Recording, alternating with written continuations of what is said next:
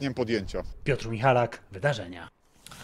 Znana piosenkarka Doda oraz jej były mąż Emil S. usłyszeli zarzuty. Sprawa dotyczy działania na szkodę wierzycieli spółki zajmującej się produkcją filmową.